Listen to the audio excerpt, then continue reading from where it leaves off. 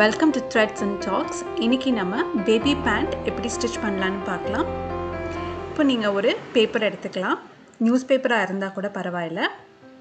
இப்போ என்னோடய மெஷர்மெண்ட் வந்து நான் செவன்டீன் இன்ச்சஸ் எடுக்க போகிறேன் length seventeen inches plus three inches so total twenty inches எடுத்திருக்கேன். கீழே வந்து seam allowance one point five inches mark பண்ணுறேன்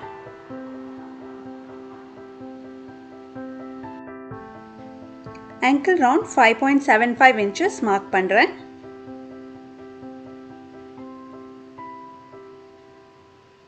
அதே மாதிரி டாப்லேயும் one point five inches seam அலவன்ஸ்க்கு mark பண்ணி ஒரு லைன் ட்ரா பண்ணிக்கலாம். ஸோ இப்போ hip measurement seven point five inches அந்த பாயிண்ட்லேருந்து க்ராச் லென்த் வந்து எயிட் பாயிண்ட் ஃபைவ் இன்ச்சஸ் நான் மார்க் பண்ணுறேன் ரெண்டு பாயிண்ட்டையும் கனெக்ட் பண்ணிக்கோங்க.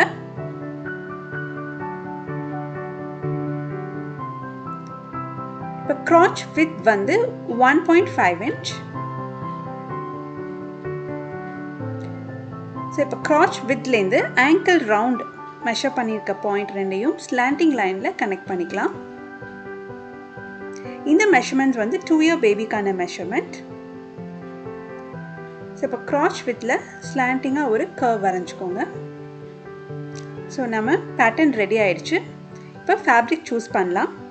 நான் இங்கே வந்து ஒரு டிஷர்ட் பழைய டிஷர்ட்டை தான் ரீசைக்கிள் பண்ண போகிறேன் நீங்கள் வேணும்னா இதே மெத்தட் ஃபாலோ பண்ணலாம். அப்படி இல்லைன்னா காட்டன் ஃபேப்ரிக் இருந்ததுன்னா நல்லது.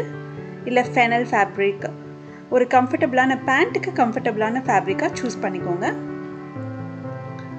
பாருங்கள் நான் இந்த பழைய டிஷர்ட்டில் காலர் ஹேண்ட்ஸ் எல்லாம் கட் பண்ணிவிட்டு நம்மளோட பேட்டர்னை வச்சு கட் பண்ணிக்கிறேன்.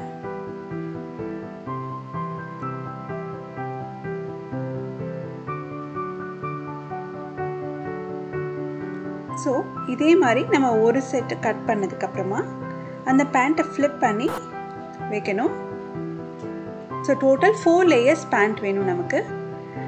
இது நான் ரீசைக்கிள் பண்ணுறதுனால இந்த ஸ்டெப் வந்து நான் இன்க்ளூட் பண்ணுறேன் எனக்கு இந்த இடத்துல வந்து கொஞ்சம் லைட்டாக துணி பத்தலை.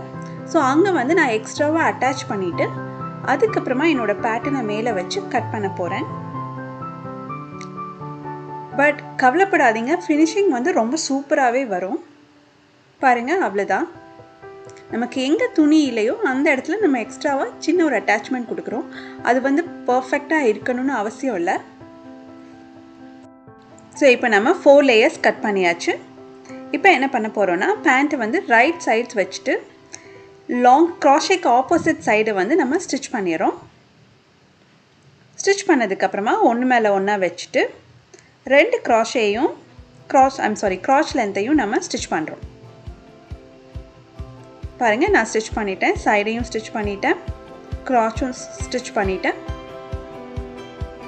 ஸோ இப்போது பாட்டமாக ஃபினிஷ் பண்ணிடலாம். நம்ம சீம் எலவன்ஸ் மார்க் பண்ணியிருக்கோம் இல்லையா? அதை மெஷர் பண்ணி கரெக்டாக ஃபோல்ட் பண்ணி அயன் பண்ணிக்கோங்க. அயன் பண்ணி பின் பண்ணோன்னா it will give a better look பாருங்கள் எக்ஸ்ட்ரா வேணும்னா இந்த மாதிரி லேசஸ் எதுவும் இருந்ததுன்னா நம்ம அட்டாச் பண்ணிக்கலாம். நான் இங்கே இந்த மாதிரி பாம்பாம் லேஸ் அட்டாச் பண்ண போகிறேன் இப்போ டாப் எலாஸ்டிக் கேசிங்க்கு வந்து ஒரு ஹாஃப் இன்ச் ஃபோல்ட் பண்ணிவிட்டு அதுக்கப்புறமா ஒன் இன்ச் ஃபோல்ட் பண்ணி நான் அயன் பண்ணி வச்சுட்டேன் ஏற்கனவே. ஸோ இப்போ உங்களுக்கு வீடியோவில் நான் வந்து ஃபோல்ட் பண்ணி காமிக்கிறேன். நான் பாருங்கள் நான் அயன் பண்ணி ஃபோல்ட் பண்ணி அதுக்கப்புறமா பின் போட்டுக்கிறேன். ஸோ இந்த ஸ்டெப்லாம் வந்து உங்களுக்கு சின்ன சின்ன எக்ஸ்ட்ராவாக தெரியும். பட் இதெல்லாம் செஞ்சீங்கன்னா உங்களோட ப்ராஜெக்ட் இன்னும் நல்லாயிருக்கும் ஸோ இப்போ ஒரு இடத்துல மட்டும் ஒரு டூ இன்ச்சஸ் கேப் விடலாம். அது ஏன்னா இந்த எலாஸ்டிக்கை இன்சர்ட் பண்ணுறதுக்கு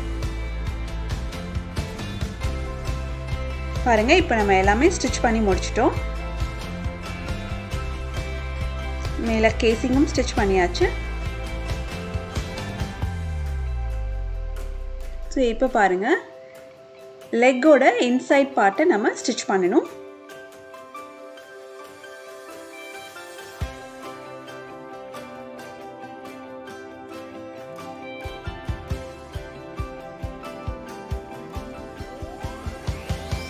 இப்போ பாருங்கள் நம்ம எல்லாமே ஸ்டிச் பண்ணிட்டோம்.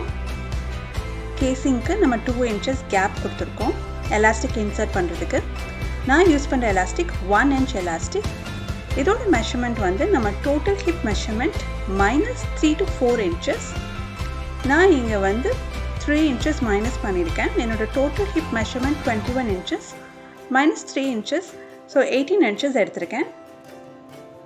ஸோ இது ரெண்டு சைடும் வந்து நம்ம ஒரு அடையாளப்படுத்திக்கிட்டோன்னா ஈஸியராக இருக்கும். ஸோ நம்ம இன்னொரு எலாஸ்டிக்கை இன்னொரு எண்டை வந்து நம்ம செக்யூர் பண்ணிக்கலாம் ஒரு சேஃப்டி பின்னால்.